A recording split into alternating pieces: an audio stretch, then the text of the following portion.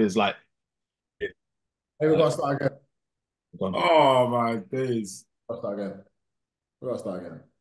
See, this is why, Josh. This is why I said, Femi, you should do it because I don't know. Oh, What, do it. You gotta learn. You gotta grow, bro. this is what I said. hey, I don't know if I Wait, can. I'll get, and and I'm gonna correct you. You said Siberia, Serbia. Hey, I'm talking about snus. That's crazy. Yeah, yeah. Look at you. Said Siberian, you know. yeah.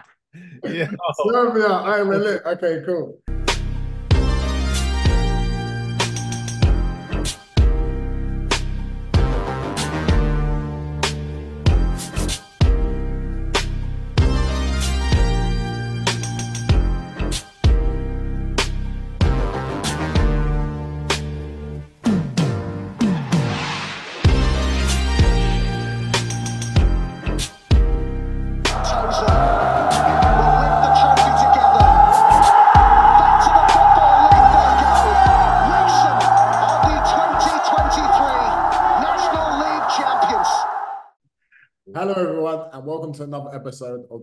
the show that brings you up close and personal to the Vanarama National League.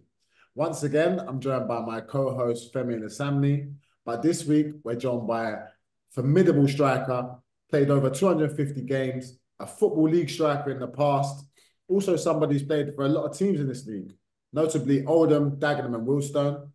He's played in Serbia, Scotland and Slovenia. We welcome Oxford City's Josh Parker. Welcome to the show. Thank you, my bros. It's a pleasure to be here. I've actually been, You keeping hope you're up to good, date. bro. I've been keeping up to date on everything you do. Like it's very, very positive and very necessary. So commend uh, flowers to yourselves. That's stuff. That's good stuff. And what people, what a lot of people don't know is that Josh was in my youth team. It's So I've known Josh for a number of years, and he's been balling for many, many years. You know. You know what I think? Femi ain't aged as well, you know. That's what I, every time I see Femi, he looks the same, like literally like young at heart. Young at heart. man. Yeah, I'm still running around. I'm still trying to run around, man. But um, cool. Sorry to cut you off. Uh, Andrew's in our youth team as well. Oh yeah, Angelo's in our youth team as well. That's interesting, isn't it? You know what I mean? Yeah. Um, so yeah, Josh, talk to me, man. You've had a great career, I'll be honest with you. Um, obviously looking at our youth team, you're one of the ones that's went on and and really made something out of your career. You know what I mean? So credit to you on that, because there wasn't many of us. Um, you're obviously now in your 30s and you've landed back in the National League. Um, how, how have you found the National League so far? Um, Because it's your first, it's your first time, it's your first time here, right? yeah. Yeah. Uh, First time, kind of second time. Like, so when I was at QPR, my first loan was to AFC and they were in, uh, conference prem.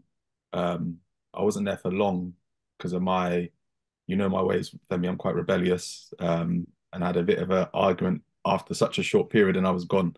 Um, so yeah, this is my first proper spell in this league, but it's a lot better than people give it credit for. That's what I will say. Um, there's a lot of good players, um, a lot of players that have mixed it at higher levels or are capable of playing at higher levels. Some, a lot of players are here for, um, for their by their own choice. Um, but it's a very good league, a very good league. Like what I would say is back in the day, there used to be, from when I've watched it, a lot of teams that were just favorites because they had the most money, this and that. But now, when you see the results, anyone can beat anyone. It's almost like boxing. It's like the styles make the games. So that's what's interesting about it. But um, I, I'm enjoying it. I, I love the league. I think the league's so good. No, I, t- I totally agree. Um, in the past, it's definitely a league where people drop down for the money. Mhm. Like you said, now people are definitely coming here out of choice. Um, and Oxford City, talk about your season so far. Obviously, you've scored nine goals. It's been a bit up and down. You've, you've. It seemed like a bit of a roller coaster, similar to Boreham Wood's in terms of consistency. So, talk us a little bit about how your season's been after getting promotion from the National League South. Um, it's it's hard to br break down because of the fact that our performances and how we play football is, in my opinion, I'd say we're top three footballing teams in the league. I would say that. Um, how we play football and how we go about playing football, I think is how everyone would like to play football. Um, but that doesn't win you games. Experience wins you games. Goals win you game. Um, not conceding wins you games. So that's been our problem a lot of the time. I think we had a meeting a couple of weeks ago, and I think our average uh, possession uh, over the course of the season is like 65 to 70%. Like it's it's really, really high. Um, but we'll like the game last week against York, we'll make silly mistakes. So dominating the game, really dominating the game, lots of chances, not taking the chances, concede last kick of the game, you lose. Like, and that's I think you two will know when you're experienced, it's the little man management, and your team's very good at it. When we played you guys, managing the game, slowing things down, um, speaking to the referee, going down, knowing how to kill a game when a team's on top. And you can't buy that stuff. You can't teach that stuff. It's just built into you. So I think that's where we've fallen short so far this season. But the one thing that I think works in our favor is um, we are now getting players back that uh, were really important to us because we do have a small squad and we have by far the smallest budget. We had the smallest budget in the league below last year. So um, we're doing well. But um, I think we now will start to kick on and start to pick up results. It's almost like when it gets desperate, you kind of realize the magnitude of the the situation, and no one wants a relegation on their on their CV. That's for sure. You said you said a lot of deep stuff there. I'm not even gonna lie to you. Um, and you spoke about um those silly mistakes and and I'm conceding late on. Um, I know you're, you're, I think I think it's a little bit harsh because a lot of teams, a lot of teams in this division concede late. If you look at the amount of goals that are scored in this division, it's in additional time, 90 plus. You know what I mean? And a lot of teams concede. So what do you what do you put that down to? Like what what, what would you pinpoint it down um, I would say it's naivety because last season we could get away with that stuff because it, even though we're dominant in possession in this league, um, last season we knew that um, we could get away with bringing the ball down in the box when you should clear it as a defender, or all these little things that we like rush into a throw on when it's the 80th minute and we're one 0 up. Like all these things that I mentioned before, um, it's naivety and probably lack of boys maybe playing at this level, um, lack of experience, which goes a long, long way in in football, as you know. Um, I just think it's pure naivety and at some point in time the penny's got to drop and you've got to realize this isn't um, fun and games. This is pro like professional football in my eyes now. When you get to this kind of level, it's professional now. Like it, it means something. For sure. No, I can hear the I can hear the frustration in your voice, and it's something that we probably echo. But I want to talk about um, your past and your journey. And you've had a lot of clubs in higher leagues. Um, as you said there, you started off at QPR, um, you was at AFC when you went on loan. But is there a moment that would define your career? Um, I would say there's a couple because obviously when you get your debut or make your debut, it kind of that's the only moment that is I still have a high about, if you get what I mean because you know they speak about gold medal syndrome. Like if you get promoted, it's amazing. Then the next day it's almost back to reality. But when I made my debut at QPR, um, it was kind of like I've made it. Is in like I achieved what I always set out to. Whether I never played football again, I stepped foot on a professional football field. So that moment kind of always because you know what it's like. You you just see yourself as Jamal and Femi from whatever area you're from. You're just like I, I made it to be a professional footballer. Like wow, like that's a bit mad. So that moment for me was crazy because I remember standing on the touchline and Adel Taarabt was coming off and it was against Crystal Palace away. And my, do you know when you get told off in school and your legs are shaking, but they're not shaking? You know them ones where they're moving. And I was like, oh my God. And Warnock was like, get on there, get the ball and just run. So like I literally did that. When I got the ball, it was almost like Forrest Gump moment where I just had my head down and I was just running. Um, that moment and so then well.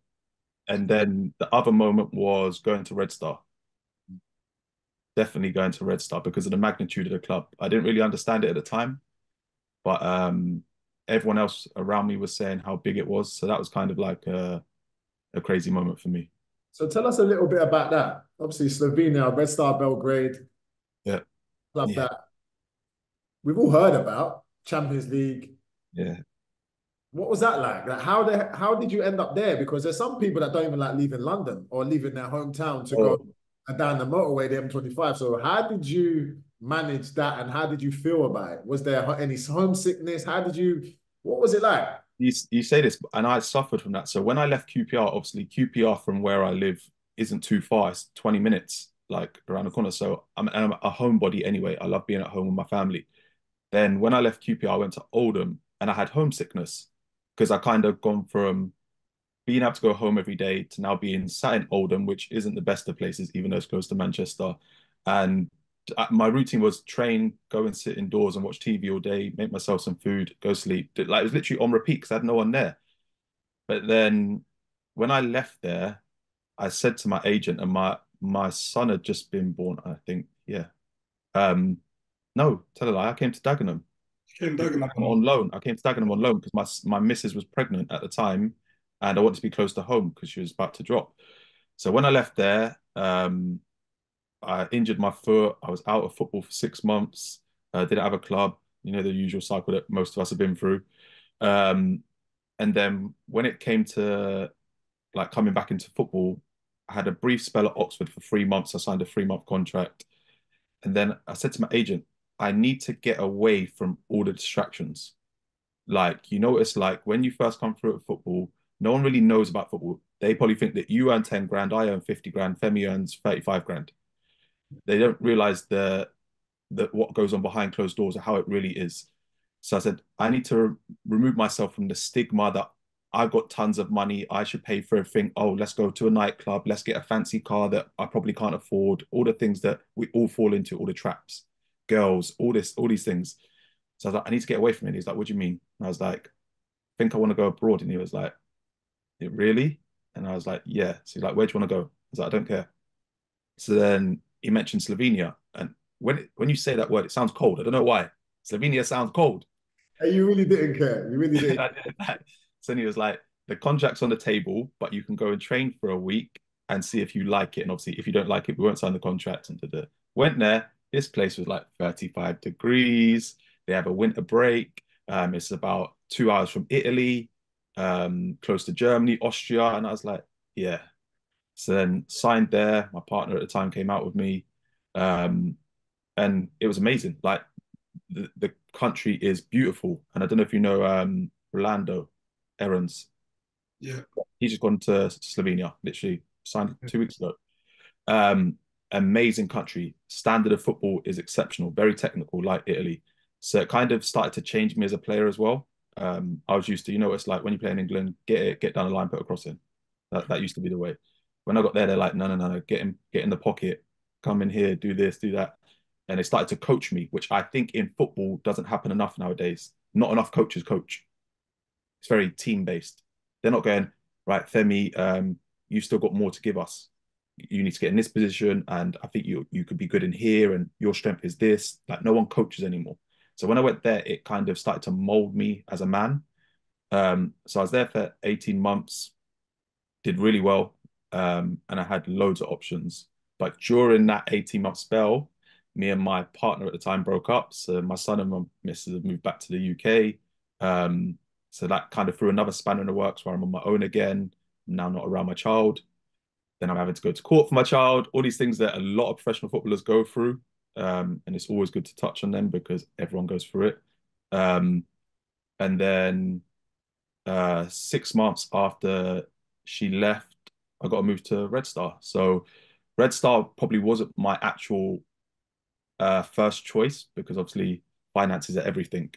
I could have gone to Sturm Graz. I could have gone to a team in China. China was the first option. Um, and like I said, I always keep it very honest and authentic. I remember getting pulled up into the office by the sport director, and I thought I was in trouble because we always used to argue. And there was some Chinese guy sat there, and he was like, "We came and watched your game last week. Um, their owner wants you to go and sign at their team." And the first thing I said was, "But my son, like, I'm going through like a court thing with my son, and I want him to be able to come out. And they were like, yeah, we'll put in free uh, first class tickets for your part, your ex partner and your son to come out every month. Um, and anything additional to that, you can pay for. So in my head, I'm like mad excited. I'm thinking I've made it. So then they offered me a crazy amount of money. This before the whole China thing happened. Um, uh, so then I walked out of the office, messaged my agent, and I was like, yes, like finally I've like got what I feel like I deserve message my ex partner. She goes, no full stop. Just no full stop. That was it. There was no further discussions. I tried to message her parents to say, like, I can change, uh, uh, like change our life and my son's life.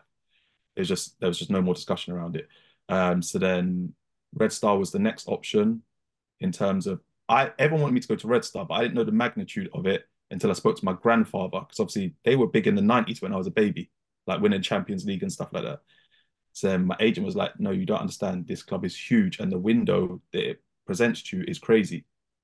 So then it was only an hour and 15 minutes flight from London, which is super quicker than going to Manchester. Um, so I ended up meeting, going for a meeting, flying to Belgrade, meeting a director, signing there. Um, but I remember when I came out the airport or when I was on a plane, my agent was like, right, when you be when you come here, no more arguing, no more being confrontational, da da da da da. Um, but when you get here, you're gonna be like almost like a Ronaldo at United. And I was like, you're actually chatting rubbish. Like, do you hear what you're saying? He's like, no, the, the way people love football in this country is like a religion. They love it more than their children. So I'm not obviously deep in it. So I remember getting off the plane and remember three months prior, um, no, three months prior to going to Slovenia, I'd left Oxford.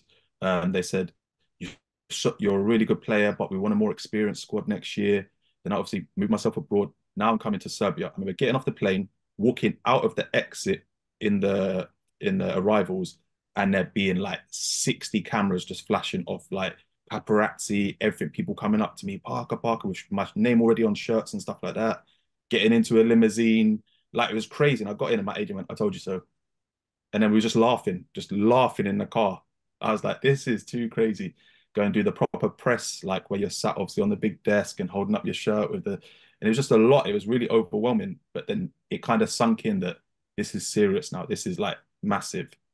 Then you have your first home game and you see 60, 70,000 people every week. And yeah, it was just mad. That that period for me was just like, oh, this is a lot. Yeah. I'm, I'm happy. I'm happy for you because um, I'm happy that story. That story put a smile on my face because you really felt what it's like to be like the top end. Yeah, bro, like bro, real like it.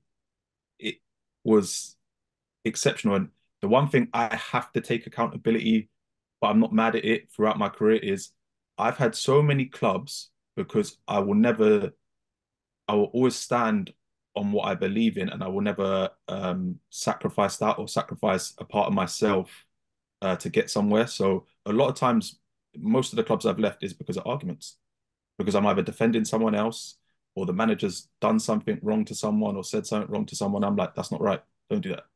And then we have arguments. I leave it literally you can go through every club and I could tell you a crazy story and I'd always be 100% honest about them. And it was no different at Red Star, um, probably Red Star and Q, uh, not Red Star, uh, Slovenia and QPR, but maybe the two clubs where I haven't left because of uh, a fallout. No, you're right. You're right. I've definitely, I've definitely heard a couple. There's quite a bit to unpack here, Josh, because you've said a lot of things. And one thing I do like about it is um, your transparency. I feel like you're very transparent. Um, you spoke about the lows, but you also spoke about the highs in the same in the same sentence. Yeah, like, same. bro, like I don't mean it arrogantly, but I've probably been through more in football than anyone I know. Well, I know I've been based on. If you think about the top people, they obviously go through financial issues, but I'm talking about the magnitude of stuff. Like I've had when I had the fallout with Red Star and they stopped paying me and all of these things, which we can get into um, I'd gone from playing Champions League qualifiers to six months later working in a coffee shop because they've got my transfer papers and I can't earn an income. But then they're trying to sue me for two and a half million pounds because that was my buyout clause. Like, but then I'm working in my godfather's coffee shop, never drank coffee in my life, don't know how to serve coffee, taught me overnight before he opened the shop because he was still being a teacher at school, but had this idea of opening a hip hop coffee shop. So I've gone from playing in the last round of Champions League qualifiers to six months later serving Janice at the coffee shop. Like, like I've been through a lot, and uh, and it's a lot of stuff that people can relate to because even at my time at Red Star, go like playing, um, didn't score in the first two games, and I I knew it was a big club, like a massive club, but then Major was like, "There's pressure here." Like I, he said, I'm talking like Real Madrid pressure, and I'm like, that doesn't make sense because the club's not Real Madrid. He was like, no, but to the fans it is. After two games, I didn't score my first two games. They were both away. Um, getting messages on Facebook. I'm talking like 500. You best score the next game. This is Red Star. Do you know how big the club is? Da da da da da. Monkey emojis. No no no no. Like mad stuff. Like I'm like, oh lord. Then the first home game it was like some anniversary, and I scored two. Um, and then I remember going on a night out after that game with my agent because he was in Serbia with me, and I remember being in a club, just us two, literally just having drinks, and a fan come up to me. He was like, "Oh, God, like put his arm around me." He's like, "If anyone troubles you tonight, let me know. I'll kill them." And he was so serious, and my agent was like, "Yeah, it's good, mate." He's like, "No, seriously. If anyone troubles you, you let me know. They will be dead." I'm like, "This is a next level. Like, this is like mafia, like real stuff." But like I said, I've been through so much in football, um, and even at those high highs, and this is what I've realized in life: life isn't always up. It's if someone asked me how life is, I would probably say, and I don't want to swear, terribly, um, amazingly crap. Because this for me is amazing. This conversation with you two. But then I might go downstairs and my daughter's been been sick on the carpet. It's it's that constant yin and yang. Like it is always that. So when I'm at Red Star, I'm going for a court battle to be a father to my son and spending thousands on that. So it's amazing and terrible at the same time. Because when I'm on the pitch, I forget about it. But then when I come off the pitch, I've got to realize that I've got to be a dad. I can forget my son and not be a dad, but that's not the person I am. So it's it's constantly like that. I feel you properly, you know. I feel you properly, you know, and, and everyone goes through those phases as well. And it's like the, the older you get, the more it becomes that, you know. One moment you're you're happy or whatever, and then literally the next moment something crazy just happened. You know, yeah, I mean? like that, that whole Red Star thing, like it's weird. Now I look back on it, I don't see it as a negative because I played with some unbelievable players and players that have gone on to amazing things. Like there's Marko Grujic, who's at Porto, who went to Liverpool. Obviously, up front it was me and Luka Jovic, who's obviously after that went Benfica, Madrid. Now he's at Milan. Like, and I still speak to those guys. Like a lot of the guys went on to do amazing things, and I always think that could have been me going on to X, Y, and Z or or onto bigger and better things. But like I said, my morals and stuff like that wouldn't let me get there, and I'm not mad at myself for it because the reason I fell out with the people at Red Star was because my nan passed away. I wanted to come home for the funeral, and they said no. Wow. Eh, you wouldn't be human if you said, "Okay, no problem, I'll just carry on playing." Literally, I remember the conversation. I was on my way to training in a taxi. My mum calls me, she's crying. I was like, what's going on? She's like, oh, your nan's passed away. Like someone went into the house and found her. Boom. I'm like, cool. So it hasn't really processed. I'm like, I've got training. So I'm training. Then it hits me. So now I kind of have a little breakdown and all the boys are asking what's going on. I tell them, speak to the manager. He's like, I don't pay you your uh, I don't pay your wages, but I'm happy for you to go home. But you have to speak to the director. So as I'm walking out, the pictures at Red Star, the training pictures are sunken. So you walk down to them. It's really like cool. So as I'm walking up into the car park, um, the director's like, "Oh, I heard there's a problem." I was like, "Yeah, my nan's passed away. Um, I was wondering if I could fly home just for two days, just to be with my mum, and obviously the fu- like plan the funeral." I don't think that we're going to allow that. What do you mean? And he was like, "Well, your nan was old. She was going to die." That was his words. I was like, "Oh my god!" I said, "I'm going to walk away before I say say or do something I regret." And he was like, "Do you think if his words were, do you think if Frank Lampard's parents passed away or Nan passed away, he'd want to go home. And I was like, yeah, and no one would tell him nothing. That's why you're not going to tell me nothing. So we had a whole massive fallout. We're having an argument in front of everyone. So then I played every game up until that point. Then it came to the Saturday and they dropped me and didn't bring me on for a minute. So then me being a person of like morals, I was like, you could have let me go home. Because if you knew you was going to drop me and not play me, I could have been gone. So then what happened was they booked me a flight for the Sunday after the game and said you can come back on Wednesday. I get a message from Luka Jovic on the Monday saying, Where are you, bro? And I was like, I'm at home, like obviously to do with my nan. And he sent me a newspaper article. In them countries, they run the papers. That's how they sell a lot of players by hyping them up in the papers and say and linking them with clubs. So then clubs come and look. So I'll go, so and so is linked with Liverpool. And Liverpool will be like, Are we? Let's go and have a look then. Um, and I was like, huh? And it's like, uh, Parker's nowhere to be seen. That was the title. And I was like, so I messaged one of the people at the club, the like the director's secretary, and I was like, are you lot not going to come out and say anything? Because obviously this is in the paper, but that's not true. And I was getting messages from fans again, like now thousands of messages saying, how dare you do this to our club, blah, blah, blah. And they were like, no, don't worry, it'll blow over. I'm like, okay, something's going on here. something's going on here. So then I go back. Then from then, cold shoulder, cold shoulder. You're not training with the team. Da, da, da. That's when I went on loan to Aberdeen, funny enough. Yeah. Mm. A clubs, I'm going over it quickly, but yeah. Yeah, a lot of clubs do that. A lot of clubs, um, when they're unhappy with a player, they find a they find a way. Um, Yeah. but Fem, what was you gonna what was you gonna touch on then? Yeah, I was saying obviously like um it seems like you've you've mentioned it already, like regarding your morals and that and um obviously that translating into football um is probably like you said the reason why you've left so many different clubs. There was um a particular story um and I hope you don't mind going into it. I know. okay. I heard about Gillingham. Yeah, yeah, yeah. Oh, God, I knew this one. But before I touch on that story, yeah, and this is why I've probably gone down, uh, you probably see it like the spiritual route or like whether you want to call it religion or whatever. Because when I look back on my career, because I've always been true to myself, it's always worked in my favor. And I'll go over that. It's a little bit like coincidental. But um, the Gillingham thing was, I remember it was a Tuesday night, Swansea at home, uh, FA Cup, and I was flying at Gillingham. Like the manager kind of gave me the reins to do whatever I want. He literally would say to me, "Do whatever you want." So I was scoring, I was assisting, I was like flying. Um, because you know it's like when a manager installs that confidence in you to like trust you and say, "You've got you've got my back and I've got yours."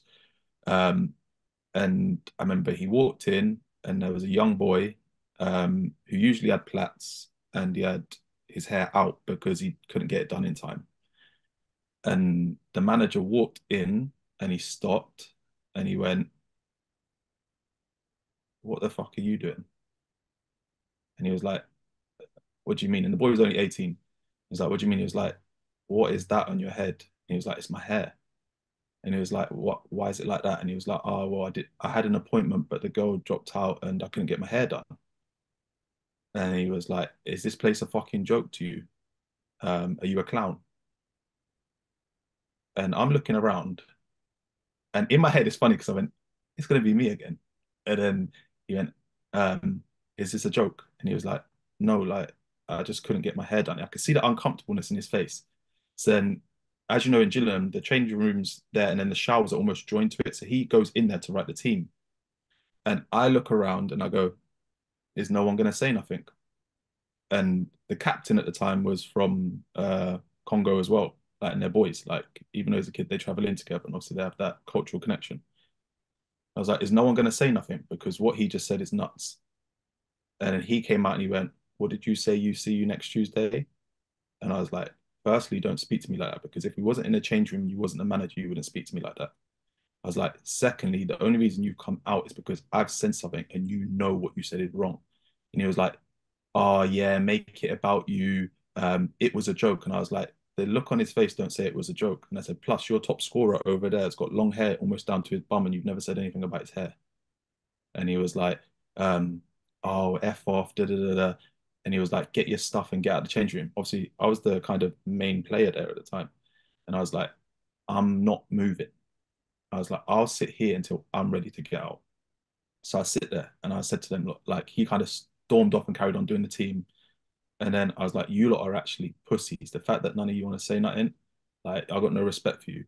And then I picked up my stuff, walked out, and then he put the young boy in the squad, like in uh, on the bench. I think he might have been come on that night um, the young boy came in and basically said, uh, "Thank you for doing that." Obviously, I wouldn't say anything because you've got your career, I haven't got mine, and it can be taken from me at any moment in time.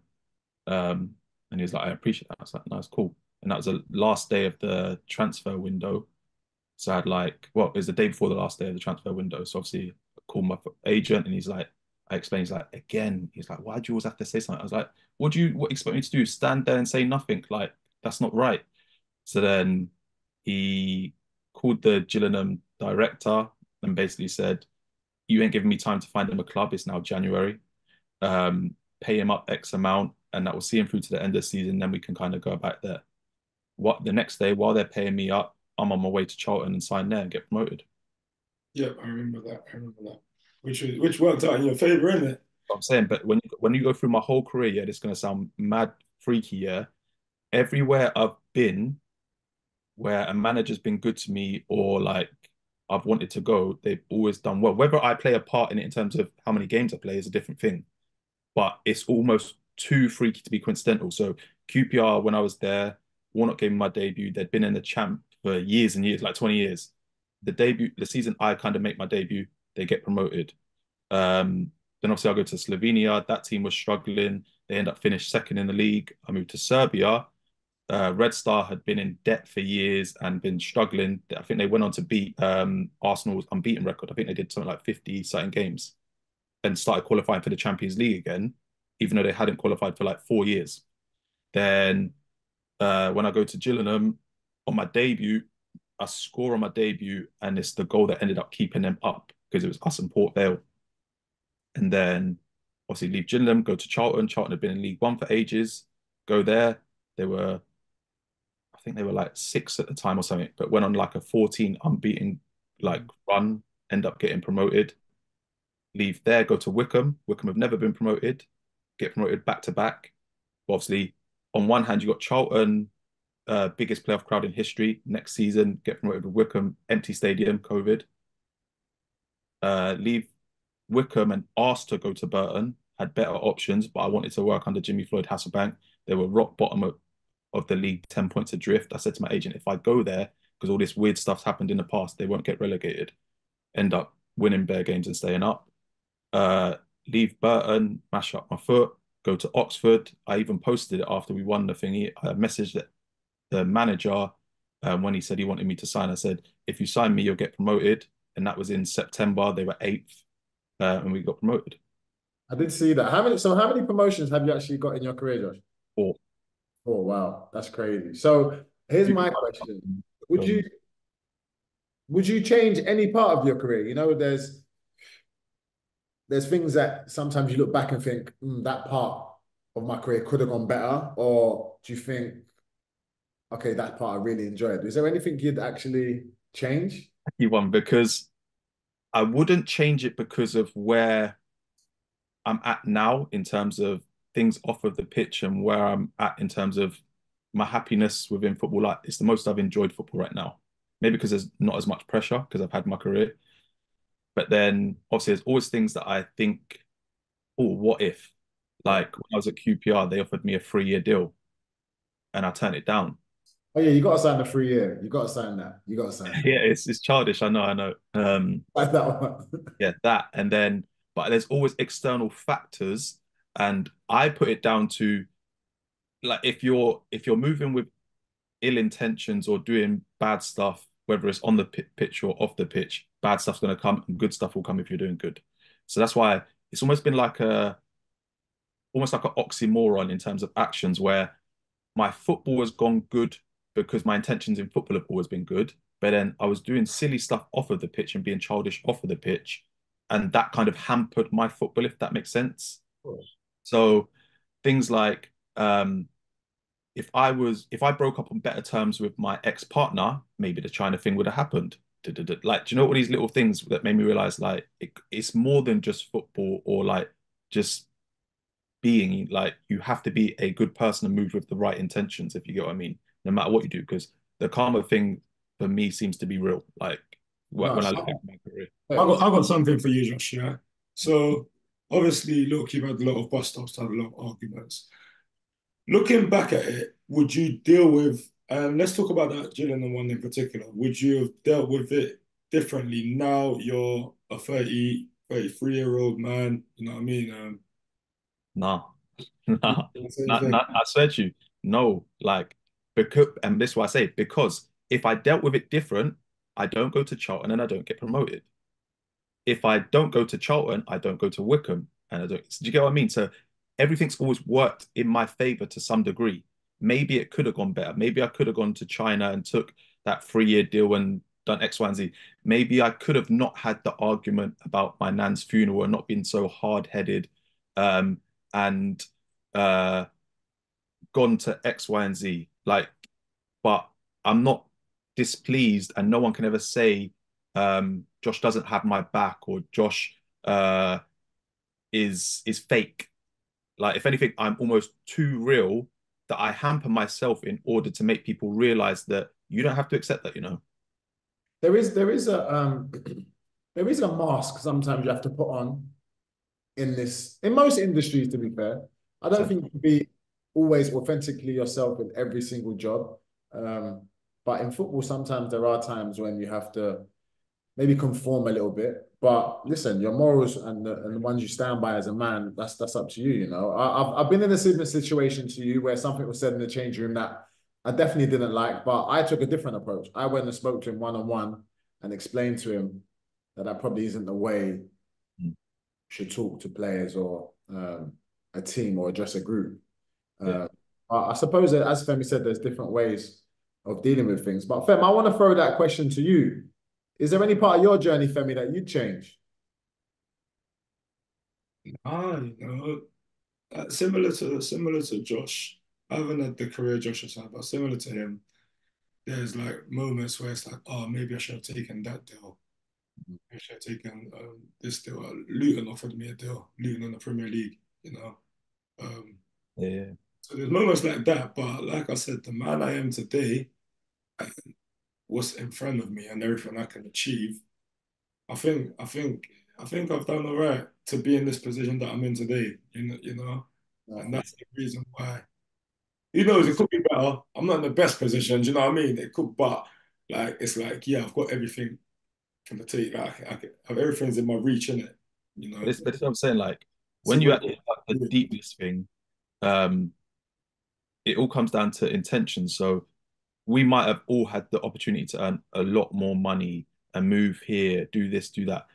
But this and this probably would have been my like, like you said, you asked for a bit of advice for a young young player at the end. But this would be my advice: like you as a person before you was a footballer. A lot of people think football makes them the person they are. So I always have this saying that if you're yourself long enough, people will pay you to be that. So right now, you two are leaders, uh, amazing at talking, um, amazing at spreading knowledge and awareness, and your intentions are there. So eventually, someone's going to pay you enough money to be these people that you are because it's the intention is pure. You're not doing this because you think there's a billionaire pound at the end of it. You would like it to make you money, but you do it because the intention's there and the the caring's there. Sure, for sure. I you know, you're talking sense. This is what I talk about all the time. Yeah, this is this is the and this is why we had to get Josh on. It was Femi's idea, and I can see why he wanted you on, Josh, man. Um, it's been an amazing combo so far. And we're definitely going to carry on.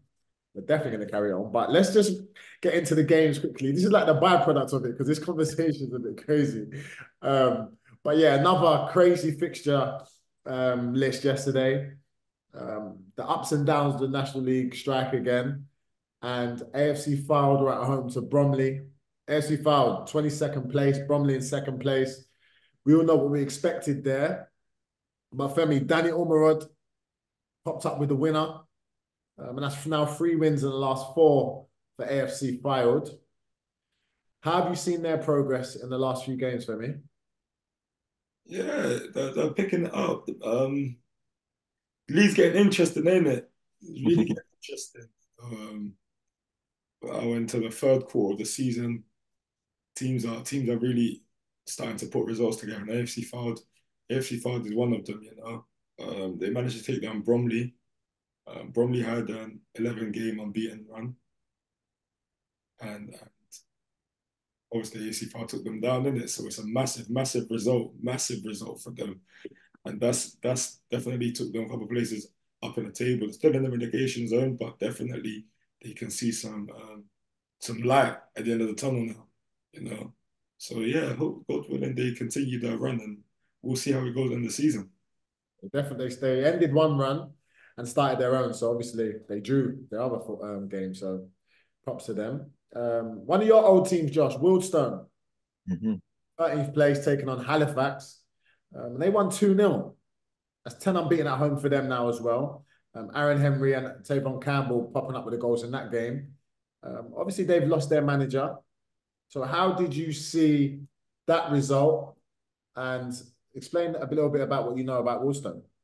Sorry, before you go, Dave, um, they just appointed um, David Noble from St Albans. Yeah, I, I, see that. I see that the other day because obviously we played St Albans in the final last year.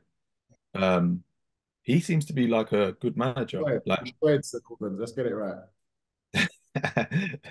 yeah, um, yeah, he seems to be a good manager. Obviously, he had a good career anyway. Um, but I think he'll, I think he'll do well there because they were already a, a nice foot. Like they had a style that they were trying to play. Um, I remember playing them earlier on in the season. Um, yeah, I think he'll do really well there, and uh, it's it's it's an interesting club because it is a good club, but they're kind of in a bit of limbo. They're neither up there nor down there at the minute. If you, I mean, in terms of in general. Um, so yeah, I think he'll go there and do well. I think they need to give him kind of the freedom to, or the time, which we know is a dying thing in football, to kind of express himself or stamp himself on that team um, because he's going to have changes here and there. Obviously, uh, um, St Albans they played a very similar formation to what we do. They played a back three with the sometimes with the box, sometimes not with the box in midfield. Um, but yeah, I, th I, think it's a good appointment for them. I do think it's a good appointment.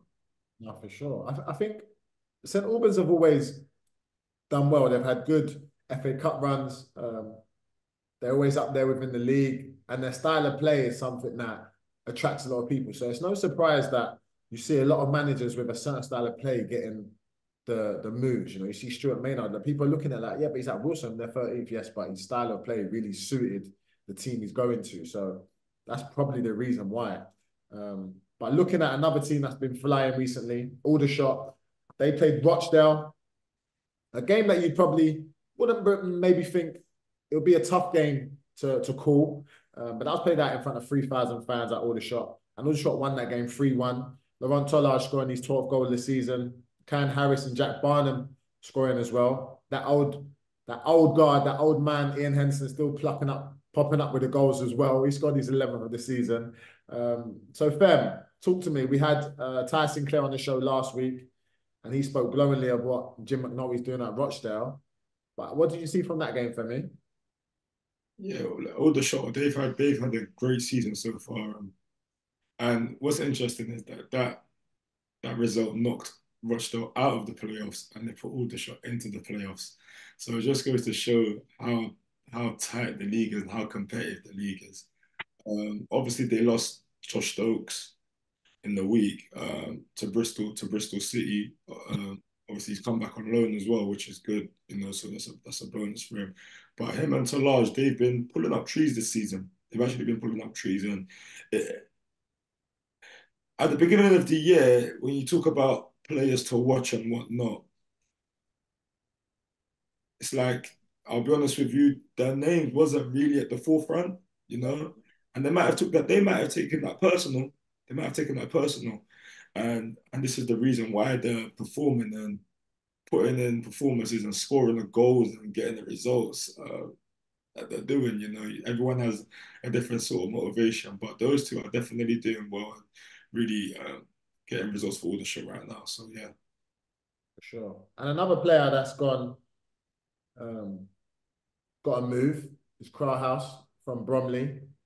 So the the National League is where it's at. A lot of gems are being plucked left, right, and centre and it's just it just goes to show how well the National League's doing, man.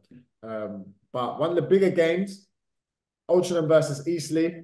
Altrincham currently flying in fourth place, and we played Eastleigh in the week, a crazy four-four draw, but they conceded another four Eastleigh. Um, Lewis Banks, Regan Linney, Alex Newby, and that man Chris Conn-Clarke, their talisman, their number ten, popping up with his 15th goal this season. It's funny, I've been watching Captains on Netflix, Captains of the World, and they was talking about the the um the allure of the number 10 shirt. And Chris, I feel like Chris Conn-Clarke really epitomizes that. He really puts his team on his back. And Altrincham are a team that I don't think anyone wants to play in. I think I know their manager was highly touted to be the one that got the Notts job as well. And I wouldn't be surprised if they called his phone, but Altrincham declined all calls because he, he's really putting his team together and they're really playing a style of football that's really impressive. I've been really impressed with what they've got going on down there. And obviously Justin and Looms are doing great things as well. Um, but we're going on to our game as well, and it's getting a bit. It's tough when we coming on after another loss. Um, obviously, Ty got sent off yesterday against Dorking, and they beat us 3 0. Jason Prior, Alfred Rutherford, and Charlie Carter popping up with the goals. It's it's it's really um, when you're down the, the wrong side of the table and kind of looking over your shoulder. It's it's tough to to put into words, really, especially when we're so used to being successful, being at the right end of the table. Um, but yes, it's one of those. It's hard to explain. It's hard to put your finger on it. I was talking to someone on the from Dorking, and he was asking me questions about what it's like here and what's what's been the change, and it's it's kind of hard to put my finger on. And if I had the answers, probably wouldn't be here. So, Obviously you played in it. Um, still a raw emotion on that one. Um, but sum up your thoughts on it quickly for me.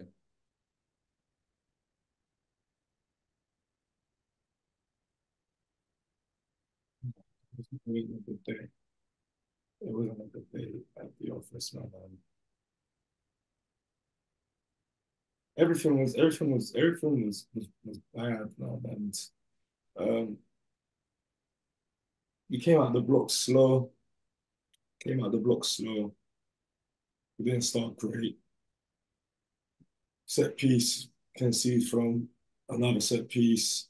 Um, mistakes, you know, this this we just we're just not helping ourselves at the moment. We're just not helping ourselves, you know. And when it's not, it's not even coming from like one particular place, like the whole team, even including myself, you know.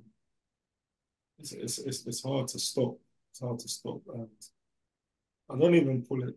Uh, you can call it unlucky, but I don't even think it's unlucky. I just think we just need to be better. Simple as it. We need to be better. We need to go in go into games different mindset. Go into games full of confidence. Go into games knowing that we've done our bits during the week. You know, because we can't we can't afford to be leaving this thing to chance. You know, um, putting up on a Saturday and hoping it goes well. Can't afford to be doing that, especially this end of the season as well. For sure. I'm really looking forward to see how that result. So, No. Yeah. And the thing about, I suppose the, the, there's always positives and there's always another game. Um, we've got most of the gaff coming back from international duty as well. Um, so that's that's that's going to be a, a big push for us. Uh, but one of your old teams, another one who's having a bit of a roller coaster season, Josh, Oldham, um, they played Woking are in 20th place and they're probably expected to win that game after so many good results from Micky Mellon since he came in. 6,000 fans watched that game, but they lost to Woking. Um, 1 0. Jermaine Anderson popped up with the goal in that game. First win for Michael Doyle. And we had our ex guest, Alexis Andre, um, sent me a message saying that Norwood didn't succeed this week in scoring against him, Josh.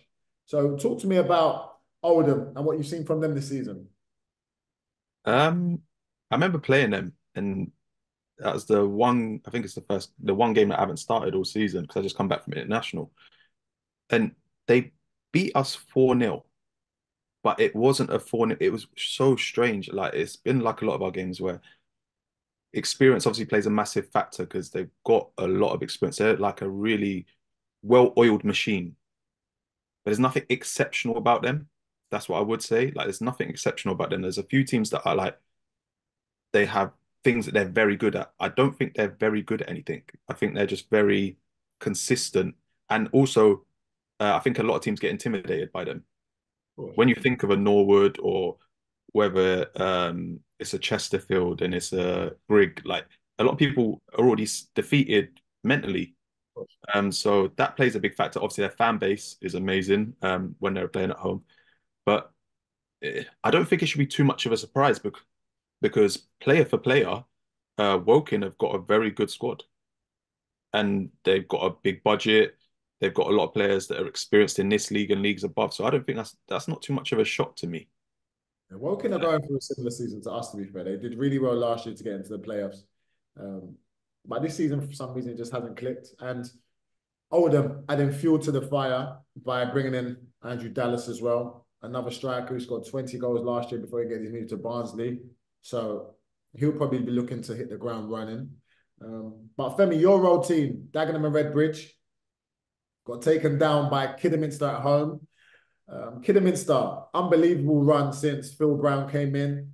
Um, probably looking like the right decision to change manager. Caleb Richards scored the goal in that game, for me.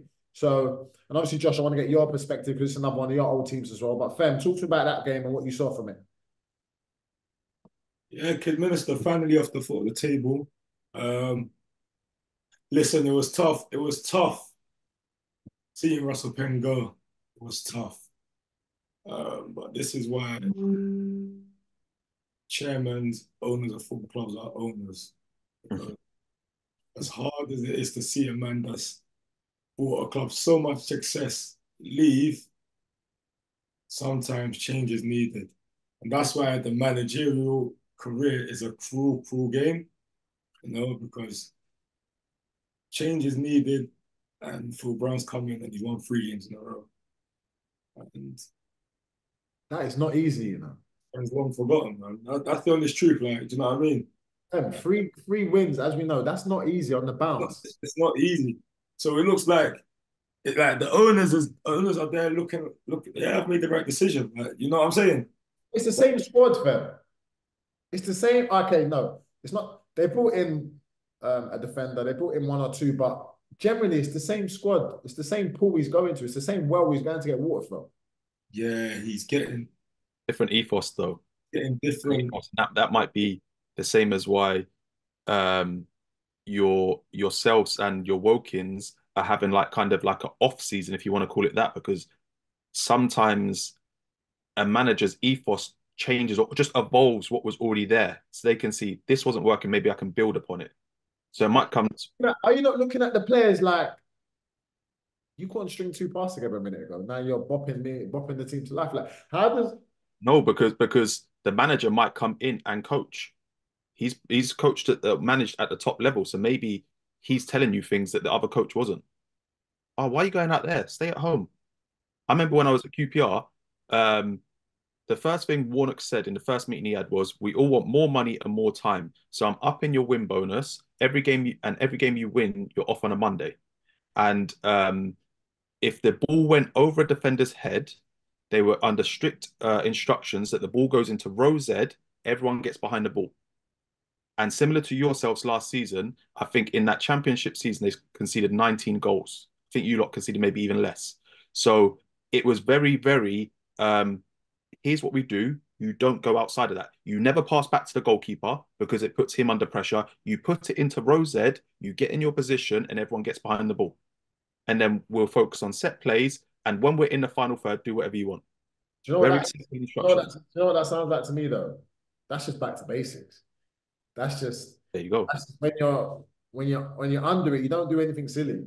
You know, there's no need to try and do anything fancy. Just get back to basics. It, it take me back to um, the Man City documentary where Fabian Delph was just going in on his team talking about we're forgetting the basics of football. I think when your back's against the wall, you just got to get to back to the basics: run, tackle, press. It's, it's that simple. Maybe that's what Phil Brown's brought back into Kidminster, you know. But he's definitely doing something. And yes, he also, he's also a big manager as well. So there's there's a level of respect that the players are going to have from him the moment he walks into a building, into the building, you know. So, but he's doing well. He's doing really well. He really is. And there was a game that I called the Battle of the Strikers. Um, and Josh, it's good that you're here because you can we can get your perspective. Um, Hartlepool versus York, two big, big clubs in the north of England. 5,000 fans watched that game. Hartlepool ran out 2-1 winners in Kevin Phillips' first game in charge. Um, Mani Dieseruvwe has been out for six games, but he popped out of a brace, taking his tally to 15. And Dipo Akinyemi took his tally to 11 with a late, late consolation penalty. How do you see those two strikers? Do you look at strikers and what they're doing? Obviously, McCallum didn't score this week, but he's already on, I think, 26. He's near enough 30 for the season in total. Three league goals. Yeah. So tell me, tell me what you see from that, from those strikers in that game, Josh. Um, I think there's a there are a lot of good strikers in this league. Like I do think there there are. Um, I think every team has like at least one or two that like could get you 15, 20 goals a season. Um, obviously McCullum's like numbers are crazy. And I think a big part of that, based on obviously playing against them, and you'll probably say the same, is the team plays to his strengths. Yeah. Plays to his strengths, long throws, not shy to cross the ball. And this is what I'm saying. When you I, I saw that. I saw them crossing. They were crossing the ball from midway between their Yes. box. The, Yes. the, the opposition box. are Sorry, brilliant. Josh. Really playing to his strengths. Yeah, really played to his strengths. And even like um free kicks, the free kicks in their half and they're loading it. I'm like, oh my, it reminded me of Wycombe with Akinfenwa. And I'm like, okay, but hats off, it gets results. It gets him goals. And that's that. Like, he might not, he might be the best striker in the league, he might not be. He might be Greg, it might be whoever. But if a team's playing to your strengths, you're always going to have chances. And it's down to him to convert those chances. So it's another example of going back to basics. If you've got two six foot four strikers, what do they want? They want the ball in the air or in the box. So do that. Sure, for sure. Um, we played we played against him and we played against Maka for years and we had him on the show. Great guy, but he's having one of those seasons, man. It's it's obviously Chesterfield are not missing him because they're absolutely flying. But what he's doing, it'll be it's going to be surprising to see if he's still there by the end of this transfer window. There's definitely let's be honest, there's definitely got to be um, interest in him. But if they want to be getting to the playoffs, they're gonna have to keep hold of him. Um, but Barnet falling away from the chasing pack. To be fair, they're chasing, but it doesn't seem like anyone's catching Chesterfield. But they played Gateshead, who have had a bit of a turnaround since um, a lot of their players left, their management staff left. But they ran out 2 1 winners. Luke Hannant got an absolute worldie. Um, I'm not sure if you guys saw the finish. Literally a volley from the edge of the box, clean strike into the top corner. Nick Kabamba scoring again, 19 goals for him now for the season, but it wasn't enough as a Dom scored um, for Gates to take it to 2 1. Um, so, Fem, what have you seen from Barnet? Obviously, they, they've done really well this season after hitting the playoffs as well last year. Uh, um, for me, I think Barnet have, a, have had a great season. I think they've had a great season. Obviously, they've lost quite a few in recent times. You know, they managed to bounce back quickly. That's one thing I've noticed. So when they do, The playoffs, they're, they're gonna they're gonna be in the playoffs regardless. oh, most definitely they're going to be in the playoffs. They're going to be in the playoffs for sure. I'll tell you the tricky thing though. Obviously, we know Chesterfield are top, and then there's Bromley and Barnet in it.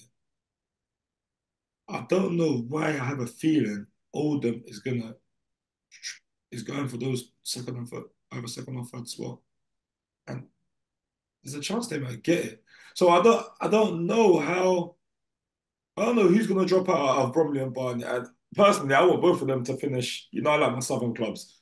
I like, I want both of them to finish second and third, but I just get this feeling, and obviously we know Oldham. It was a it was a loss yesterday, so that kind of hindered it. You know, um, the loss to Woking. Yeah. But yeah, I, I don't I don't I don't I don't want to see Barnet or Bromley go out like that because they've been second and third for majority of the season. So I feel like they deserve to automatically go through to the playoff semis. Yeah. Um, you know how much of a how much of an advantage that has. But Micky Mellon's been there before. You know what? It's funny you say that, Fem, because I was looking at the table yesterday and I saw some signings that Hartlepool made. And they're difference makers. So as much as you say Oldham and Hartlepool are in 12th at the moment, but I actually got a feeling that Kevin Phillips, new manager bounce, about 16, less than 20 games to go. They brought in Luke Waterfall, um, Courtney Senior, who popped up with an, uh, an assist on his debut, um, and Otis Khan as well. Let's not forget. Congrats to Nicky Featherstone, by the way, 400 league games for uh, Hartlepool. So those signings, coupled with that ground, Dieseruvwe coming back, they're gonna be they're gonna be ones to watch out for for sure. No, most definitely, most definitely. And look, I know the the ambition will still be, look, they're sitting in 12th place, you know what I mean? Um, and they're only seven points, seven points outside the playoffs with with just um shy of 20 games to go, you know. So there's no way that playoffs, even if they're not speaking it vocally, But it's that. Josh, have you played against have you played against Luke Waterfall before, Josh? No, I don't think so. Maybe. I don't know. He's a cent- he's a cent- like you might think a centre half, right, but he's got the experience. Mm. He's got- he's got Experience of a player that's been promoted. And Mm. that, what that can do for a club, experience like when you when you're bringing in certain players of that caliber, and then it makes everyone think, oh, right, okay. And obviously, there's competition in the squad as well. Like these are the little things that make a squad that make the push at the right time. So it's going to be interesting to see. And obviously, Kevin Phillips, we all know what he's capable of when he, when he was a player. So he'll be he'll be on the training pitch with those strikers. And Josh Umerah, I know he's going to have a he's going to have a field day learning from him. Um, but They're definitely going to be going. They're definitely they're going to be going, even if they're not speaking on it. Even if speaking. Yeah, to, to make that kind of appointment means that they mean business. Yeah. And to even get someone like Kevin Phillips in the door means they're having some type of conversation. that's it. Hundred percent, hundred percent. Um, our mate Toby Show Silver for me popped up with another goal for Maidenhead as they beat Solihull Moors, who are fifth place, two one. Um, Josh Kelly scores as well. His 12th goal of the season. Solihull were another one that Mhm. it seems though Chesterfield are just the only team that are just remaining consistent. And Solihull with that great start they had, and Barnet with a great start they've had. Um, it's like who's battling for second basically out of those two. Um, but Sam Barratt popped up the winner in that game. Josh, what have you seen from those two teams? See, Solihull, when we played them, because we played them quite early on in the season, I'm going to say in the first maybe seven or eight. Um, all the other teams we played prior, I thought, yeah, we're going to hold our own in this league. Because a lot of teams are saying, like, these lot can play football. And when I played Solihull, it was the one team that I thought, yeah, you, you could do well in, like, I think you'll do well this season. They did well for a long spell and then they kind of just fallen off. I uh, like like you said, you can't put your finger on it, but something's happened. Whether it's complacency, whether it's um, they were just overachieving, I, I don't know, but they were flying at the beginning of the season. So it's interesting to see these teams starting to fall off. Now maybe it's the the pressure of now or everything you did before for the last 30 games is irrelevant because it can all change. You could end up getting relegated still, even if you was in fifth place. Like that's how Let me, let me ask you guys this year. Solihull are currently fifth in it. Hmm. Do you think Solihull will finish the season in the top seven? no. I think they will. I love their squad. I, I've got some players in there that I will fight for and Femi, you know, wherever we play Solid, when we used to, Josh, we used to play solid Solihull, yeah, it used to be a battle. Like, think like Manchester United, Arsenal, tunnel Yeah. game with Roy Keane versus Vieira and uh, Gary. like, we'd be in the tunnel, fam. Tell me if I'm lying. We'd be in the tunnel and it'll be, they'll be going, come on, then, boy. Everyone would be screaming and shouting, and we'll be looking at them thinking, all right, cool. That's how you feel. But most teams would do that to try and intimidate. But me and Femi looked at each other like, okay, these lot, these actually mean it. Like this is when they had like Kyle Storer, Callum Howe. Uh, these were the, this these were proper battles. Those are the games that we really look forward to. So, and they've still got that. They've they, they've lost a lot of players, but one thing they still have is Josh Kelly and Mark Beck up front. And any team that's got two strikers that can score goals, that's always going to um, stand you in good stead. So I think they would still stay in there. I think they've got enough to Gus Mafuta in there, Osborne pulling the strings, and they've got a Clark at the back. So they got a good team, man. Richard Stearman, I can't see it. I can't see them falling out of the playoffs. Man. What do you think? As it stands right now, if you're asking me today, Yeah. I think I'm with Josh. Really? I, I, I hate to say it, I hate to say it, but I think I'm with Josh on this. All them are on the necks. You've got Aldershot, you've got Gateshead, you've got Rochdale, and we've got Hartlepool that you just spoke on. You know, and they're all gunning for it. And Solihull's form has been very inconsistent. Not just they've had an incredible start, and that's what's held them over. You know what I mean? This period, but if you look at November till now, their form hasn't been crazy. And on the form guide, they, they haven't been top six, top seven in a long, very, very long time.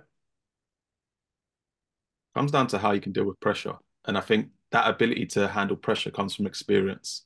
And they've got an experienced squad, but I just think maybe some of the other squads have got more strength in that aspect in terms of the experience to be like, it's just another day.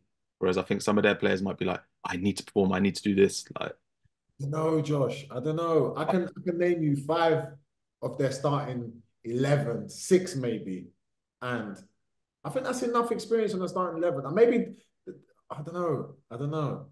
I'll tell you who. I'll tell you who. Gus, Gus is going to be, Femi, Gus is not going to be happy with you when he hears this episode, you know. I know. I know he's gonna be upset, but I've got to do my job in it. But he's gonna because Gus is actually my brother. Do you know what I mean? That's nothing that I love. I want them to do it because of Gus. Like you know, but uh, I've just got to be. I've got to do my job. I'll tell you who I think is gonna make it. Who I think will end up there. I think Ultron will stay in there. Oh, yeah, for sure. I think that's not. It's not for sure because some people might not think. That's the No, thing. I don't think there's a person alive that don't think Ultra's going to make it. Like, gonna- unless they lose Conn-Clarke over the next couple of days, that's the only thing. If they lose that boy, Yeah, so Yeah. so don't forget they were part time up until um quite recently, you know. So Yeah. transition for them has been amazing. Yeah. Um, but Southend, another team in transition, obviously transfer embargo lifted, change of ownership over now, 10 point deduction, they've eradicated that. But they went to that fortress. Femi, what do you call the stadium again? SMH. Shake my head. They went to the SMH stadium. Oh, and, Josh is actually called SMH Stadium. They went to the SMH stadium and lost 3 0 in front of 9K, 9,000 screaming fans baying for their blood. They're going for it. James Berry hasn't started in a while, popped up with a goal. Joe Quigley quietly plodding along, scoring his goals. Armando Dobra, another goal. 16 points clear, two games in hand. What can we say, guys? What are we saying?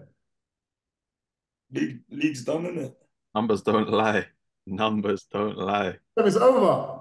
Yeah, we need to get Aaron McLean might as well start tweeting. Um, what was that tweet? Uh, good luck catching them now. Yeah, tell Aaron, tell Maka to start tweeting that man. All right, but Fem, let me ask you. Let me ask you a serious question. And I know we're competitors, and we've got we've all got ego. At what point was it over? What when did they win the league? Be honest.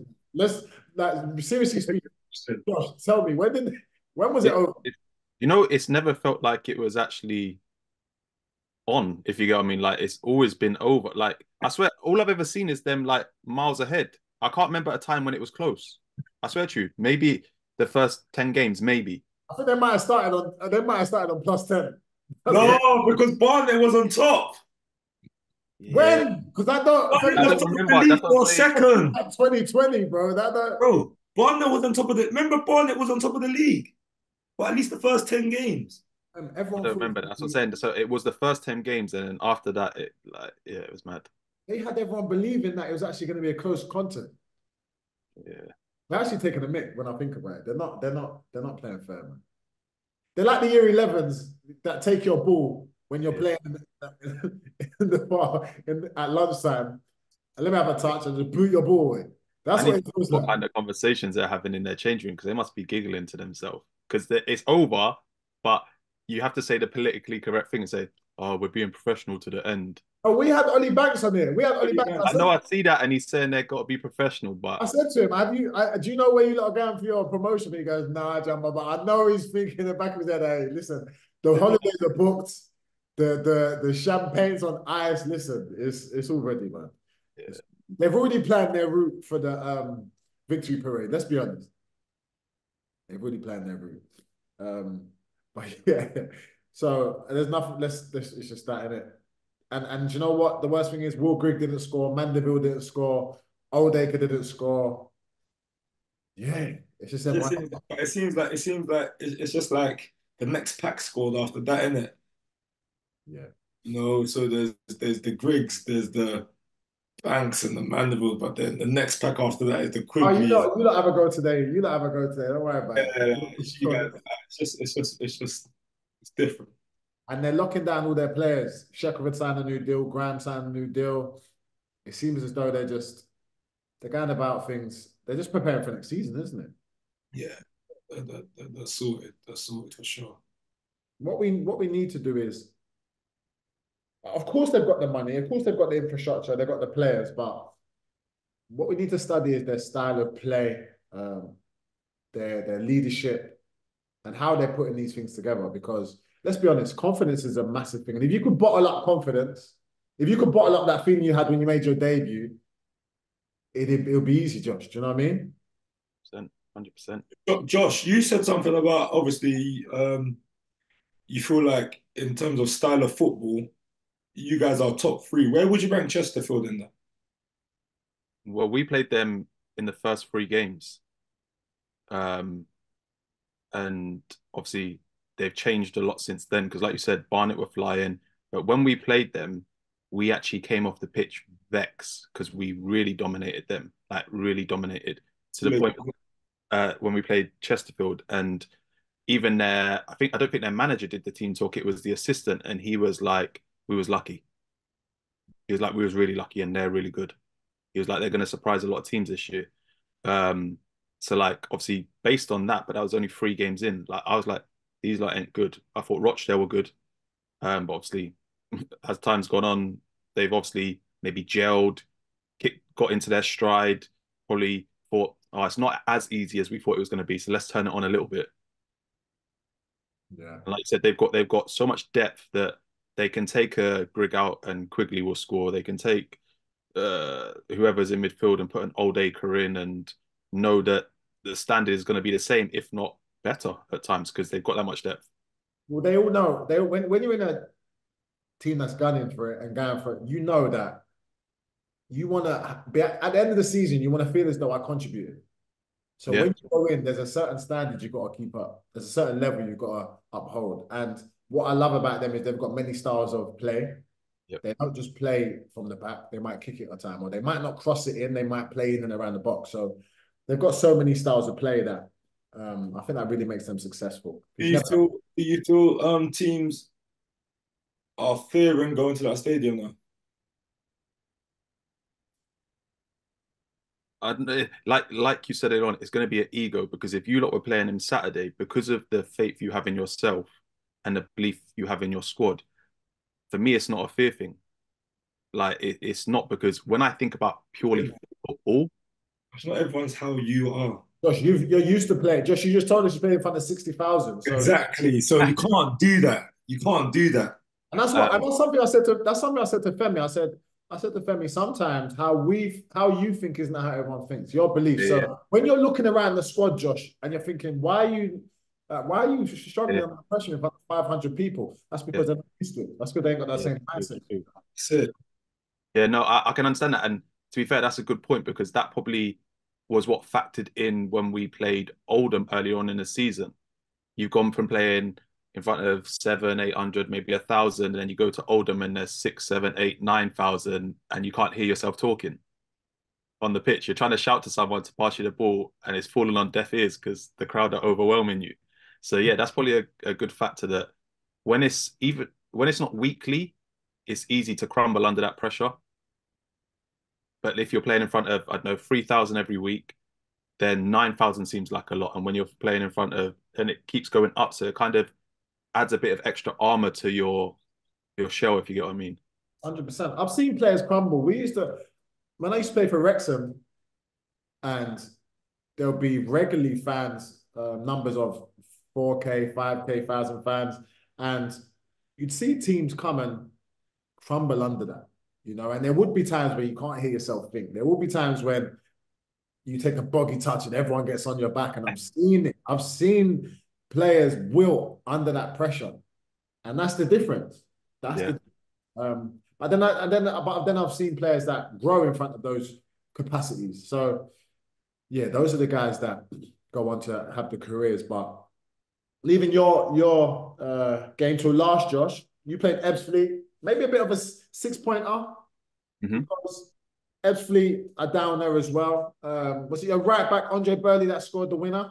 Your right yep. back, right? Yeah. I like Andre. I think he's a really good player. I, think, I think he's good, you know. He's marking me at a corner, um, really game, up for the fight. Um, and I, I, was impressed with what I saw from him. Um, so talk to me. How did that game go? Did you play? How did you play? Um, and what and what you expect expected?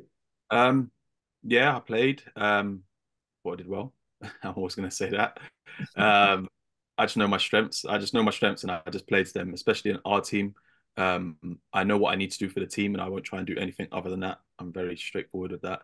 Um, we dominated the first half, like really dominated the first half. I don't think they had a shot on target all game. Not that I can remember. Actually, a free kick they had won.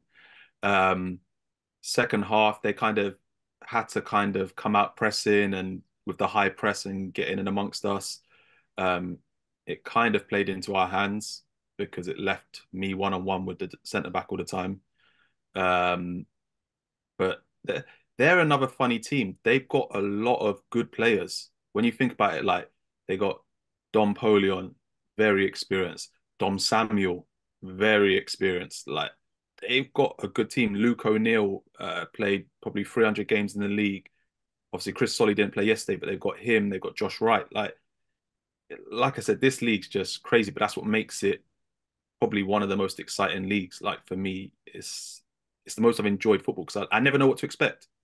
Like for me, I wouldn't be surprised if we go and beat Chesterfield, but then Chesterfield go and turn over someone six 0 Like it, just is what it is. But that game, um, it was a big game for us because all the teams around the bottom won, and I think if we would have lost that game, it would have really applied unnecessary pressure.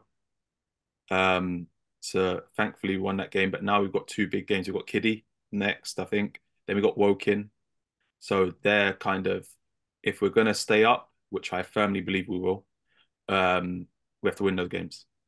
It's very rare because you guys are bottom of the league, but hearing you speak just then, you would never think you are. You'd never. I, would have thought you was mid-table or, or gunning for some sort of um, promotion. So it's interesting. Where does that belief come from? Is it just in yourself, or is it in your team, or is it in your management? Um, it's partly in myself because when we lose, I I don't take it home with me, but I think to myself that I'm a difference maker. Okay. So I expect myself to be able to win a game or do something to win a game. So that's that.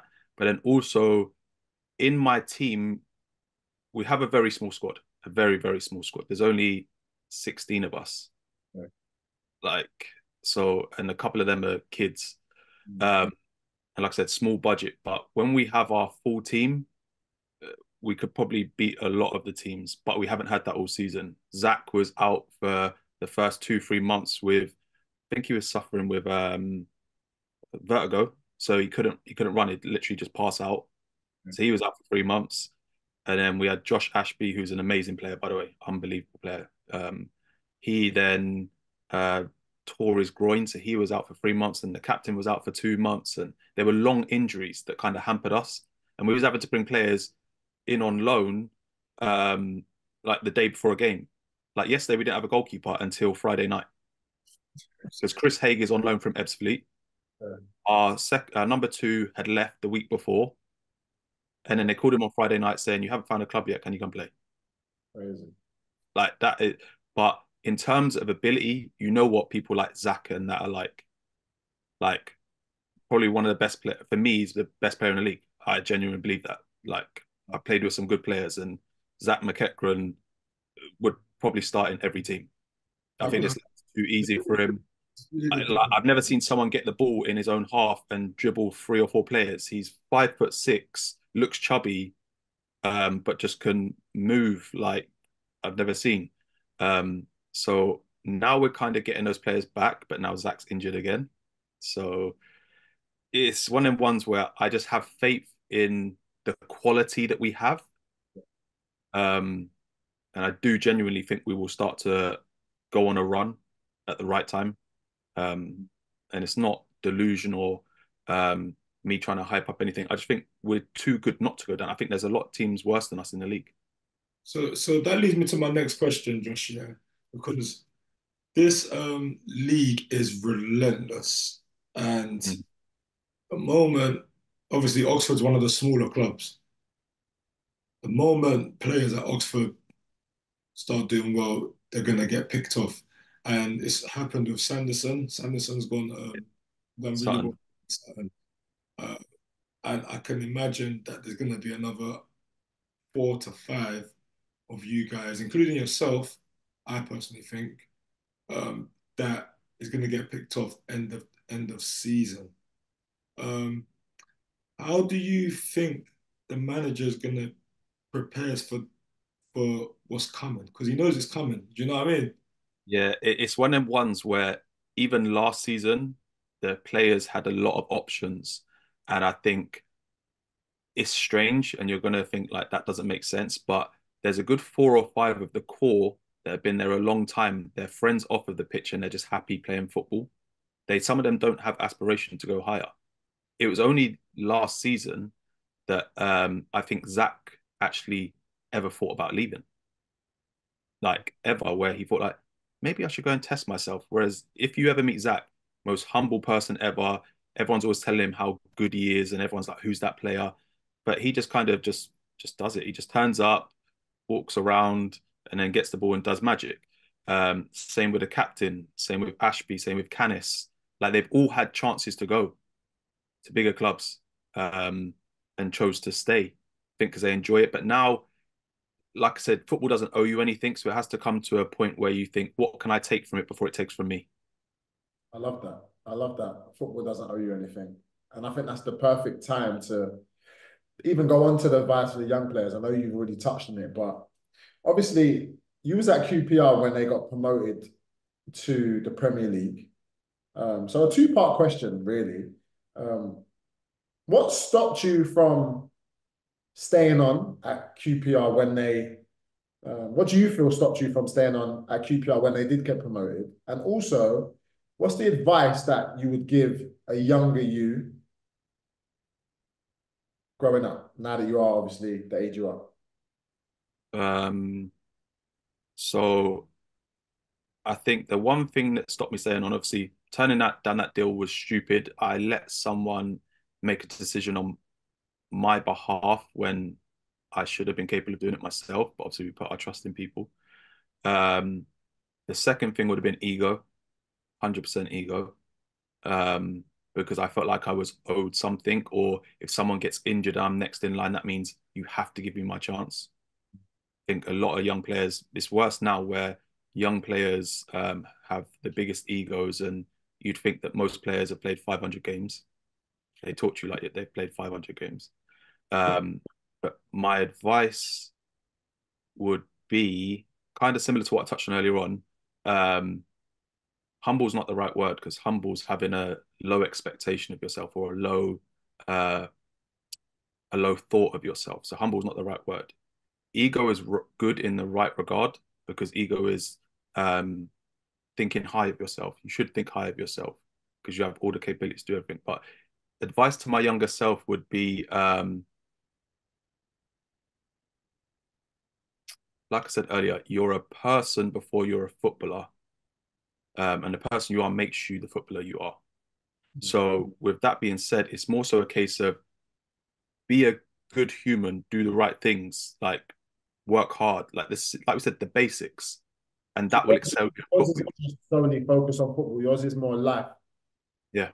So in in yeah, mine's to do with life because what you try, what you tend to find in football is, uh, a lot of footballers think they are just a footballer, and then they get lost in that football paradigm, and it then kind of the football becomes your life, hmm. and then your life affects your football. If that makes sense, it's really confusing, but I understand this. I'm with you. I'm keeping up with you, bro. You know what I'm saying? Like, so if okay. you actually just focus on yourself as a person, so like the your morals, like your your hard work, your dedication, your manners, your um how you treat people around the place, that makes you a good footballer because it makes you a professional. It mean it it means here's the perfect way to put it.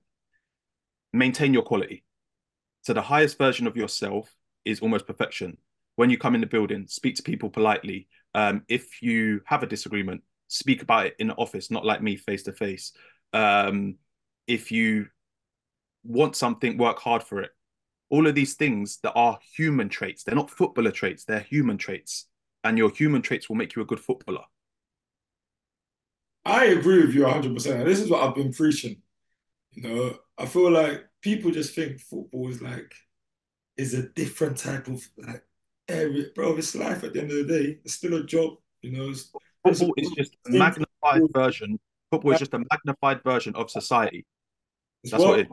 It's a magnified version of Yeah, society. it is. It is. But what I'm saying is that the principles like of a nine to five, what you do in a nine to five job, or if you're uh um uh flipping accountant, the principles still apply in football, the same principles. I don't know why people think that it's a next sort of job or no, the same things apply. So everything you're saying. So like that's why that's what I'd say to a young like young person. Um, be the best human you can be, and it will trans it will transfer into being the best footballer you can be. 100% I agree with that. I like that. Um, no, that's amazing. That's amazing to hear. And a Bro, lot if on that on that point, sorry man, on that point, if you look at the the top, like the top like footballers, like you look at Mbappe or Kante, or you're around someone like Raheem Sterling or Bukayo. And guys are proper human beings, you know. Bro, that's why everyone loves uh, know Saka. That's why everyone loves Saka because they're like, he's actually a nice person. So they Yeah. Bellingham. Look how viral that clip of him giving a cold little boy a blanket the other day. You know what I'm saying? uh, it's, It, it's goes beyond it goes beyond football, and that's what I'm saying. A lot, of footballers think they are just football, and then they have an identity crisis when football leaves them. But it's an eventuality. Football's going to disappear from you one time. So don't then, like, who am I? Yeah, I don't know why. I don't know. When you said Bukayo, the first thing that popped in my head was when, again, watching Captains. Anyone who's not watched Captains on Netflix needs to watch it. If you love football, that, that show is amazing. Um, but when he asked David Beckham for a picture, but the way he asked for it, it was how me and you would ask for it. And obviously he's a human being, but he was he literally said, I'm so sorry to interrupt you, but I was wondering if I could get a picture, please. It was like beyond Bukayo Saka. And it's like you're just a nice boy.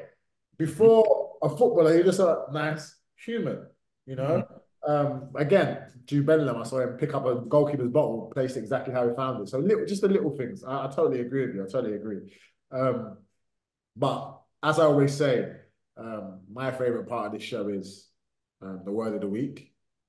Um, a word that we, us three, can take into the week. Our followers, our viewers, our subscribers can take into the week, whether they're having a good day or a bad day. One word to get us through the week. Um, Fem, I'll let you go first. Josh, actually no, I'll, Josh will go first. I'll go last, and Femi, because this is your this is your uh, this is your world. We'll let you round it off. But um, yeah, Josh, start us off. God, put me on the spot. Or do you need some time? Ah, You're good at this. This is gonna be your bag. You're good at you've been you've been you've been racking You all go, you day. go first. You go. You go first. All right, do you know what? I'll go, I'll go, and then Josh, I'll let you go second. So mine is care. And I say care because I think we really have to take care of ourselves. Um, and and be very wary of when we're not feeling our best, to maybe take some time out um, to look after ourselves, whether that's just having a quiet moment to yourself, going to the gym or um, talking to talking to a loved one, understanding your body, understanding your mind when you're not at hundred percent. You know, so um, that's something that I'm definitely going to take try most of because I as I think I'm Iron Man, and I'll run through anything, and um, I'm always on hundred, but I'm human, isn't it? We're all human, so sometimes we've got to take our time with things and and take a moment to ourselves, understand where we are, you know. So sometimes like my phone will be ringing and I just don't want to answer my phone. I just want some alone time. I just don't want to be disturbed, you know. Like family. I'm not gonna lie, you want to come over yesterday with, with Muzz. I was tired. I just wanted to be on my own, family. you know. So Put this on screen. say that say that again. You're putting it on screen. No, because sometimes I want to be on my own, Femi, you know. I, I needed I needed I needed to clear my head. I That- know, that fam, I know. I, I, I- you know, fam, I'll always try and be there for you, but I need to be there for me. I just, after a long, long week, Josh, I just needed some time for myself. So You're- yeah, um, that's so my, my word is care. Um, and Josh, I'll pass it on to you. Uh, I'm gonna say kindness Mm. Because it doesn't cost you anything to be kind. Doesn't cost you anything to say thank you when someone opens a door. Doesn't cost you anything to ask anyone if they need a hand or ask a young boy if they need any advice or they want to stay out. Like kindness is massively overlooked, undervalued, um, especially in today's society. So yeah, mine would be kindness. Like if you can move with that in the kind of forefront of your heart, then I think you'll go a long way in football and life. Like I think it will take you a long way. Do you know what? It's funny, Josh. You've um on your Instagram handle is the wounded healer. Yes. We haven't touched on that. I'm glad you did. Touch tell tell me a little bit more about where that wounded healer part comes from and, and why that's your So the reason for the wounded healer is it's not me, it's you. okay. So people come to me because obviously I run my retreats and stuff. Um, that I do like the wellness retreats that I run, the off-grid uh, wellness retreats, etc. Um, and people come to me thinking that I can heal them, but I've got my own wounds. So the fact that you're coming to me asking for help is actually healing a part of me because you think I have value to offer, Mm. which means that I'm doing work on myself that you see value in that. So you're like, Josh eats really well, or Josh works out really well, or Josh is constantly in the gym. I need to do that. So then you come to me asking me to help you with that. But in actual fact, you're helping me because you see value in the work that I'm doing just for myself. Mm. So everyone is the wounded healer. Femi, Femi and you are healing me now by allowing me to express myself. Mm. But you're wounded too. I like that. You say if I'm wounded, I'm I'm hey, I'm wounded still. Nah, Josh, I'm wounded. I'm wounded. yeah. no, we're wounded for real, Josh. We're wounded for real. I'm, I'm, I'm scarred up. You're right. Yes, that's Fem, hit us. What's your word of the week? What's your word of the week? I'm definitely going to teach you just about some meditation, and then we're definitely going to get onto that. Don't worry about that. But go on, Fem. My word of the week is um emotions. Show no emotions, but embrace every single emotion. Don't want to go people's heads. And what I mean by embrace every single emotions because and this is not me being negative, it's it's it's it's the bad or the it's the bad emotions that propel you in life. So for example, if I I didn't hate that job or if that manager didn't upset me, I wouldn't have left and gone to Charlton and got promoted to the championship. You know, in Josh's thing, you know, in Josh's story. And everyone has a similar story like that. But it's those bad emotions that that propel you. So embrace it. You know what I mean? If if I wasn't upset with my ex-girlfriend, I wouldn't have left her and I wouldn't be married now, living with my wife. Like, do, do, do you know what I mean? Like, it's those bad emotions. So don't run away from them. Don't suppress them. And even like when Ty got sent off um yesterday, I said, Ty, go through it. Like, go through it. You, know what I mean? Don't try and lie or suppress it. Go through the whole process. So yeah, as well as well as we all want to be, we want to be happy. We want to be full of joy and whatnot. Um, embrace, embrace the other harder times. Embrace those emotions because those are the ones that are really gonna cause a shift in in in, in your life in the long run. Yep. I love that. I love that. So we've got care, kindness, and emotions. Those are maybe three of the most. Well, we've never had we've never had ones like that before. I really like that. I really And they're like. all they're all human traits. Yeah, perfect. They're they're pointing ones. I like that. And even touching on Ty, me and me and Femi, Josh, we're like good cop, bad cop. I actually think our teammates probably at some points of the week definitely hate us because Femi was the good cop yesterday. I literally said, Ty, you're an idiot. But like, I've been in that situation, so I can say that. And I've known Ty for a good 10 years. So we've got that relationship. But when you get sent off like that, it's just it's just mad. Like, Do you think that's me being? Do you think that's me being a good cop, telling him to go through it? yeah. No, but I could have said it's not that bad. I didn't tell him it's not that bad. But there's different variations of a good cop. Like you said, go through it, whereas I said like, Yeah, you messed up, bro. Go through, go through it. nah, you're right. It's good cop. I'm just telling him in a nice way. Like, yeah, Good cop always, good cop always. Um, but that's why you're the club captain, fam, man. That's why that's why they didn't give it to me because I can't I can't do what you do. So, but yeah, that's those are the word of the week. Um, and that's the episode really. Uh, anything else you want to add, Fem or Josh? No, it's been a pleasure. Been a real pleasure, and uh, it's very commendable what you two are doing. Like taking time out your Sunday to have honest conversations. Hats off. I appreciate that. And thank you for coming on and giving us your time. Um, this has been one of my favorite episodes for sure. And you can look back, I don't just say that. This is this is definitely one of my, my favorite episodes. Your knowledge. Um, I love how spiritual you are. That's something I'm trying to be more of this year. Um, so yeah, thank you for your time. Thank you for coming on. Um, and I wish you the best to you and your family, beautiful family. Um, wish you the best, man. Thank you, my bros. Thank you. Josh, this has been an awesome Sunday morning, you know. I must say. Feel like Oh. church. Feel like, I'm in church. Uh, honestly, I gotta thank you for for because I'll be honest with you, I was tired. You saw before the, the thing started, I wasn't talking much. My body, my body's hurting, like you know what I mean. But you got you guys, you guys got me through. Jamal as well, you got me through it. But um, yeah, Josh, honestly, this conversation is incredible, and you don't really have much of these conversations. So when you do, it's it's exciting and it, you know what I mean, and you learn a lot. And I've definitely learned a lot from you.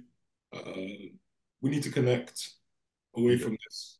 You know what I mean? I feel like you've got a lot more, lot more, lot more about you that I want. I want. I want to tap into. I can't lie to you.